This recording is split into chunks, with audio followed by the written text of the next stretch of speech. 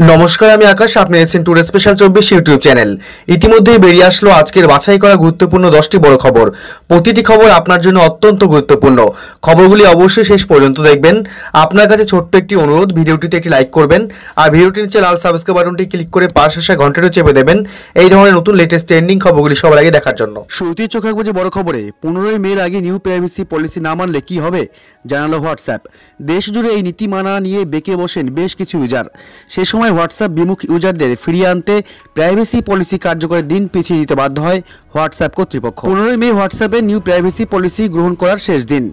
এই পলিসি জানুয়ারি মাসের শুরুতে প্রকাশ্যে নিয়ে আসে হোয়াটসঅ্যাপ। বলা হয়, চারই ফেব্রুয়ারির মধ্যে গ্রহণ না করলে অ্যাকাউন্টটি ডিলিট হয়ে যাবে। কিন্তু দেশ জুড়ে এই নীতি মানা নিয়ে বেঁকে বসেন বেশ কিছু ইউজার। সে সময় হোয়াটসঅ্যাপ বিমুখ ইউজারদের ফিরিয়ে আনতে প্রাইভেসি পলিসি কার্যকরের দিন পিছিয়ে দিতে বাধ্য হয়। টেক প্রকাশিত প্রতিবেদন অনুসারে হোয়াটসঅ্যাপ জানিয়েছে, তারা নিউ প্রাইভেসি পলিসিতে বেশ কিছু বদল এনেছে। যার আওতায় আপনার হাতে থাকছে দুটি অপশন।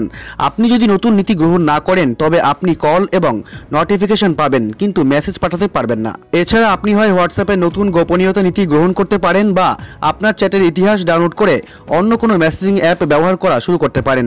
এখনও নিউ প্রাইভেসি পলিসি অ্যাকসেপ্ট করার সময় রয়েছে। যদি বিধি মানতে নারাজ থাকেন, তাহলে পনেরোই মের একশো কুড়ি দিনের মধ্যে অ্যাকাউন্ট ডিলিট হয়ে যাবে। পরবর্তী বড় খবর, ভারতে করোনার নতুন স্ট্রেন আরও বেশি সংক্রামক হতে পারে। সতর্ক করলেন এইমস প্রধান। ভারতের নাগরিকদের মধ্যে হার্ড ইমিউনিটি তৈরি হয়েছে বলে যে প্রচার করা হচ্ছে, তা মিথ ছাড়া কিছুই নয়। আশি শতাংশ মানুষের দেহে অ্যান্টিবডি তৈরি হলে তবেই বলা যেতে পারে হার্ড ইমিউনিটি তৈরি হয়েছে। শনিবার এক বেসরকারি সংবাদ মাধ্যমে একথা জানিয়েছেন এইমসের প্রধান রণদীপ গুলেরিয়া। তার মতে, মহারাষ্ট্রে করোনার যে নতুন নের সন্ধান মিলেছে, তা আরও ছোঁয়াচে ও বিপজ্জনক হতে পারে। এমনকি যাদের একবার করোনা হয়ে গিয়েছে, তাদেরও আক্রমণ করতে পারে এই নতুন নে। মহারাষ্ট্রে কোভিড টাস্ক ফোর্সের সদস্য শশাঙ্ক যোশী জানিয়েছেন, গত সপ্তাহ থেকে নতুন করে করোনা সংক্রমণ বাড়ছে ভারতে। এদেশে করোনার নতুন দুশো চল্লিশটি নিয়ে পাওয়া গিয়েছে। সেজন্যই সংক্রমণ বৃদ্ধি পাচ্ছে। শনিবার শহরের মেয়র কিশোরী পেডনেকর মানুষকে সতর্ক করে বলেছেন, যদি সংক্রমণ না কমে এবং যথাযথ সতর্কতা মেনে না চলা হয়, তিনি ফের লকডাউন করবেন। সুতরাং লকডাউন এড়াতে চাইলে মুম্বাইয়ের বাসিন্দারা যেন কঠোরভাবে সমস্ত করোনা সতর্কতা মেনে চলেন। মেয়র বলেন, বাণিজ্য নগরী মুম্বাইতে করোনা পরিস্থিতি উদ্বেগজনক। বৃহন মুম্বাই কর্পোরেশন সংক্রমণ ঠেকাতে যথাসাধ্য চেষ্টা করছে। করোনা সংক্রমণ নিয়ে মানুষকে সচেতন করার জন্য মেয়র এদিন শহরের রাস্তায় মাস্ক বিলি করেন। আমাদের দেশে মহারাষ্ট্রেই এখনও পর্যন্ত সবচেয়ে বেশি সংখ্যক মানুষ সংক্রমিত হয়েছেন। তিন মাস পরে ফের রাজ্যে দৈনিক সংক্রমণ ছয় হাজার ছাড়িয়ে গেছে বিশেষজ্ঞরা বলেছেন, মহারাষ্ট্রে করোনার কয়েকটি নতুন মিউটেশন হয়েছে, সেজন্যই বেড়েছে সংক্রমণ। সংক্রমণ বাড়তে থাকা ইতিমধ্যে একাধিক পদক্ষেপ নিয়েছে মহারাষ্ট্র সরকার। বৃহন মুম্বাই মিউনিসিপাল কর্পোরেশন বা বিএমসি এর কমিশনার ইকবাল সিং চাহাল একটি নির্দেশিকা জানিয়েছেন, বিয়েবাড়ি ও জমায়েত নিষিদ্ধ করা হচ্ছে। বিএমসি জানিয়েছেন, লোকাল ট্রেনে তিনশো মার্শাল নিযুক্ত করা হয়েছে। কোনো যাত্রী মাস্ক ছাড়া যাত্রা করলে কড়া পদক্ষেপ নেওয়া হবে। বিয়েবাড়ি, ক্লাব, রেস্তোরাঁ প্রভৃতি জায়গায় ঠিকভাবে কোভিড বিধি মেনে চলা হচ্ছে কিনা তা খতিয়ে দেখার জন্য নির্দেশ দেওয়া হয়েছে। কোনো বিল্ডিং এ পাঁচজনের বেশি কোভিড রোগী থাকলে সেই বিল্ডিং সিল করে দেওয়া হবে। যারা এই নিয়ম মানবে না, তাদের বিরুদ্ধে কড়া ব্যবস্থা নেবে প্রশাসন। পরবর্তী অতি গুরুত্বপূর্ণ স্বাস্থ্যসম্মত খবর, খাওয়ার পরে যেসব কাজ একেবারেই করবেন না, হতে পারে মারাত্মক বিপদ। খাওয়ার পর আমরা এমন অনেক সব কাজ করে বসি যা আমাদের শরীরে ক্ষতি ডেকে আনতে পারে। ভরপেট খাওয়ার পরে কয়েক টুকরো ফল খাওয়ার অভ্যাস। অনেকেই মনে করেন ভরা পেটে ফল খাওয়া বুঝি বেশ স্বাস্থ্যকর একটি ব্যাপার। কিন্তু এটি একদমই ঠিক নয়। ফল আমাদের ইনসেন্টাইনকে পরিষ্কার করে, কিন্তু খাওয়া দাওয়ার পর ফল খেলে হজমের সমস্যা গুরুতর আকার নিতে পারে। তাই মূল খাবার ও ফল খাওয়ার ভেতরে অন্তত মিনিট কুড়ি বিরতি নিন। খাওয়া শেষ হলে এক কাপ চা না হলেই চলে না। এই অভ্যাস থাকলে তা আজই বাদ দিন। খাবার খাওয়ার পর চা খাওয়ার অভ্যাস ভীষণ খারাপ। অনেকের কাছে এই অভ্যাস ফ্যাশনে পরিণত হলেও লাঞ্চ বা ডিনারের ঠিক পরেই চা বা কফি খাওয়া ঠিক নয়। এতে গ্যাস বদহজম, কনস্টিপেশনের সমস্যা দেখা দিতে পারে। মাঝে মধ্যে গ্যাসের সমস্যা বেড়ে গেলে হার্ট অ্যাটাকও হতে পারে। সিগারেটের ক্ষতিকর দিক সম্পর্কে সবাই জানেন, এমনকি সিগারেটের প্যাকেটে লেখা থাকে, এটি স্বাস্থ্যের পক্ষে খারাপ। তবু দেশে ধূমপানের সংখ্যা অসংখ্য, আর লাঞ্চ বা ডিনার সেরেই ধূমপান স্বাস্থ্যের জন্য আরও ক্ষতিকর। এতে হজম ক্ষমতা একেবারেই কমে যায়, এমনকি গ্যাস হয়ে শরীরে তাপমাত্রাও বেড়ে যেতে পারে। সময়ের অভাবে অনেকেই খেয়ে উঠেই স্নানের জন্য ছোটেন। এই অভ্যাসও ভীষণ খারাপ। দিন হোক বা রাত, স্নান করে তারপরই খান। খাওয়ার পর পরই কখনোই স্নান করতে যাবেন না। খাবার খাওয়ার পর শরীরে রক্ত সঞ্চালন বেড়ে যায়, এদিকে স্নানের পর রক্ত সঞ্চালন কমে যায়। পরবর্তী বড় খবর, ব্যাংক অ্যাকাউন্টের সঙ্গে আধার সংযুক্তিকরণ প্রসঙ্গে বিজ্ঞপ্তি জারি করে গ্রাহকদের সতর্ক করল স্টেট ব্যাংক অফ ইন্ডিয়া বা এসবিআই। জেনে নিন বিস্তারিত। ব্যাংক অ্যাকাউন্টের সঙ্গে আধার সংযুক্তিকরণ প্রসঙ্গে বিজ্ঞপ্তি জারি করে গ্রাহকদের সতর্ক করল স্টেট ব্যাংক অফ ইন্ডিয়া। জেনে নিন বিস্তারিত। এখন আর ব্যাংক অ্যাকাউন্টের সঙ্গে আধার সংযুক্তিকরণ বাধ্যতামূলক নয়। তবে কোনো গ্রাহক যদি চান, তাহলে সেক্ষেত্রে তার ব্যাংক অ্যাকাউন্টের সঙ্গে আধার নম্বর লিঙ্ক করাতেই পারেন। কিন্তু এটাও ঠিক যে সরকারি নিয়ম মোতাবেক কয়েকটি একটি ক্ষেত্রে ব্যাংক অ্যাকাউন্টের সঙ্গে আধার সংযুক্তিকরণ বাধ্যতামূলক। সম্প্রতি এই বিষয়ে এক বিজ্ঞপ্তি জারি করে দেশের বৃহত্তম ব্যাংকিং প্রতিষ্ঠান এসবিআই তার গ্রাহকদের সতর্ক করল। আর্থিক দুর্নীতি ঠেকাতে বর্তমানে বিভিন্ন সরকারি সুবিধা বা ভর্তুকি সরাসরি উপভোক্তার কাছে পৌঁছে দেওয়ার ওপর জোর দিচ্ছে সরকার। এই অর্থ সরকারি কোষাগার থেকে উপভোক্তার ব্যাংক অ্যাকাউন্টে গিয়ে জমা হয়। এর ফলে দুর্নীতির সম্ভাবনা কমে যায় অনেক গুণ। তাই আপনি যদি কোনো সরকারি পরিষেবা বা কোনো ভর্তুকি অর্থ পেয়ে থাকেন, তাহলে আপনার এসবিআই এর ব্যাংক অ্যাকাউন্টের সঙ্গে অতি অবশ্যই আধার নম্বর লিঙ্ক করাতে হবে। এখনও যদি তা করা না হয়ে থাকে, তাহলে অবিলম্বে করিয়ে নিন।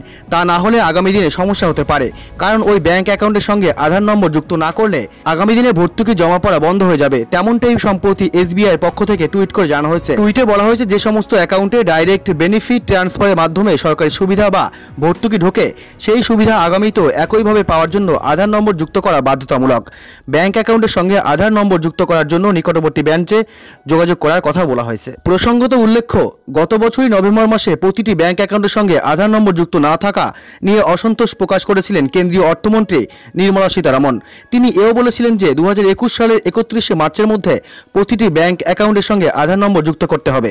কেন্দ্রীয় অর্থমন্ত্রীর ঘোষণার পরও গত ডিসেম্বর পর্যন্ত রিজার্ভ ব্যাংক বাধ্যতামূলকভাবে ব্যাংক অ্যাকাউন্ট এর সঙ্গে আধার সংযুক্তিকরণ করা নিয়ে কোনো নির্দেশিকা জারি করেনি। তবে এবার এসবিআই টুইট থেকে স্পষ্ট যে, এই ব্যাংকে যাদের অ্যাকাউন্ট আছে এবং তারা যদি কোনো সরকারি পরিষেবা বা ভর্তুকি পেয়ে থাকেন, তবে অতি অবশ্যই ওই অ্যাকাউন্টের সঙ্গে আধার সংযুক্তিকরণ করতেই হবে। পরবর্তী খবর, টিকাকরণের দ্বিতীয় পর্বে অগ্রাধিকার পাবেন পঞ্চাশোদ্ধরা।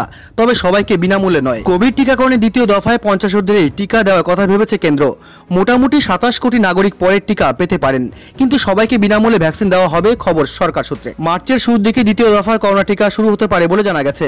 তবে এই পর্বে ষাটোর্ধ ব্যক্তিদেরই বেশি গুরুত্ব দেওয়া হবে এমনটা জানিয়েছেন ওই সূত্র নাম প্রকাশে অনিচ্ছুক ওই সরকারি আধিকারিকদের বক্তব্য, যারা টিকা পাবেন তাদের দুটি গোষ্ঠীতে ভাগ করা হবে। কারা বিনামূল্যে পাবেন আর কাদের টাকা দিয়ে কিনতে হবে, তা নিয়ে এখনও ভাবনা চিন্তা করছে সরকার। টিকাকরণ শুরু হলে রেজিস্ট্রেশনের সময়ও তা জানিয়ে দেওয়া হবে। তবে একটি বাড়তি সুবিধাও রাখা হতে পারে। নিজের নির্বাচনী কেন্দ্রের বাইরে অন্য রাজ্যে গিয়েও টিকা নেওয়া যাবে। সূত্র জানিয়েছে, কোউইন অ্যাপে গিয়ে নাম নথিভুক্ত করার সময় ভোটার এবং আধার কার্ডের তথ্য দিতে হবে। ওই অ্যাপই দেখিয়ে দেবে কোথায় কোথায় টিকা দেওয়া হচ্ছে।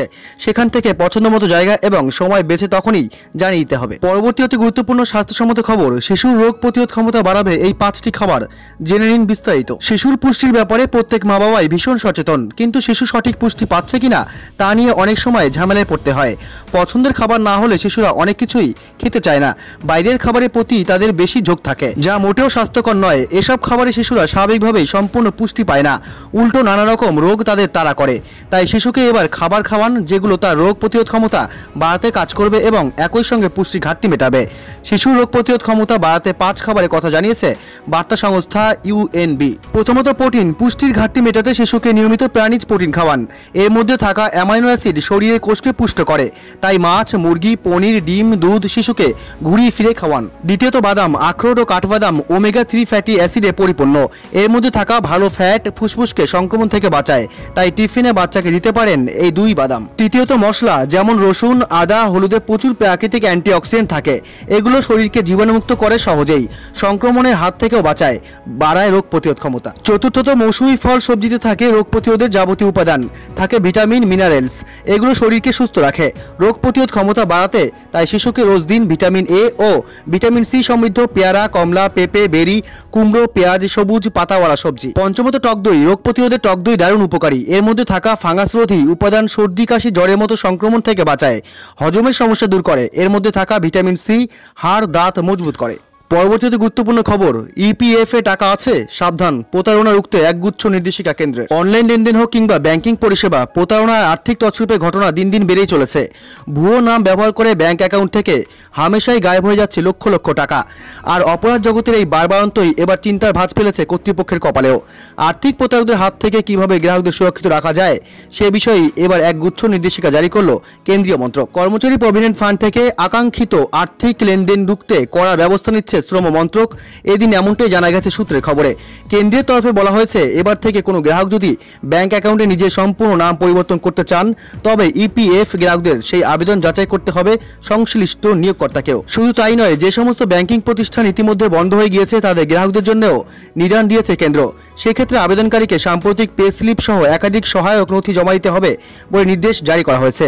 কর্মী পে স্লিপ, অ্যাপয়েন্টমেন্ট, অর্ডার মতো নথি যাচাই করার ক্ষেত্রেও জোর দেওয়া হয়েছে। মূলত নাম ভাঙিয়ে ইপিএফ অ্যাকাউন্ট থেকে টাকা তুলে নেওয়ার প্রবণতা দূর করার জন্যই নেওয়া হয়েছে এই ব্যবস্থা। ওই দিন কেন্দ্রীয় শ্রম মন্ত্রকের আওতাধীন কর্মচারী ভবিষ্যনিধি সংগঠন প্রভিডেন্ট ফান্ডে প্রতারণা রুখতে একগুচ্ছ নতুন নির্দেশিকা জারি করেছে। সূত্রের খবর ইতিমধ্যে সেই নির্দেশাবলী পাঠিয়ে দেওয়া হয়েছে ইপিএফও আঞ্চলিক এবং উপ আঞ্চলিক কার্যালয়গুলিতে। প্রয়োজন মাফিক ব্যবস্থা গ্রহণ করতে বলা হয়েছে সংশ্লিষ্ট আধিকারিকদের।